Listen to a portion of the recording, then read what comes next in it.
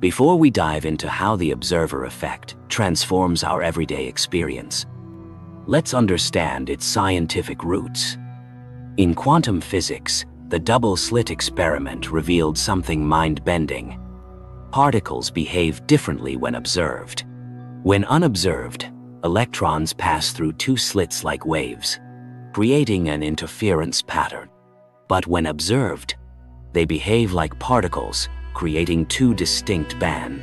The act of observation itself changes physical reality. This led to Heisenberg's uncertainty principle, which tells us that the more precisely we measure a particle's position, the less precisely we can know its momentum and vice versa. There's an inherent limitation to what we can simultaneously know about reality. But here's where it gets fascinating. What if this isn't just happening at the quantum level? What if your consciousness, your attention, is constantly collapsing infinite possibilities into your specific reality. Modern neuroscience shows us something equally profound.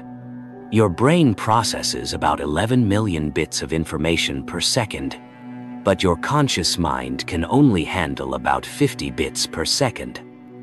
That means you're filtering out 99.9995% of available information at all times. This filtering isn't random. Your reticular activating system, or RAS, acts as a gatekeeper, deciding what limited information enters your conscious awareness based on what you've programmed it to find important. It prioritizes what matters most to you based on your beliefs, emotions, and past experiences. Two people can walk through the same day and come away with completely different stories because they paid attention to different things. This isn't just philosophical. It's neurological. What you pay attention to grows.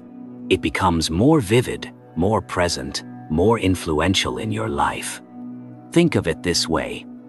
Your brain isn't a passive receiver of reality. It's an active creator that's constructing your experience based on what you've trained it to observe.